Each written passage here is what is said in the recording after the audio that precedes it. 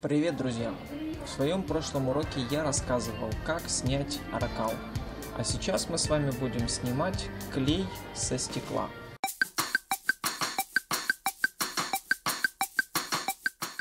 Итак, берем моющее средство.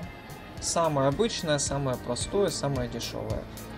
Наносим полностью на стекло, на клеющий слой. Ждем аж целых 5 секунд.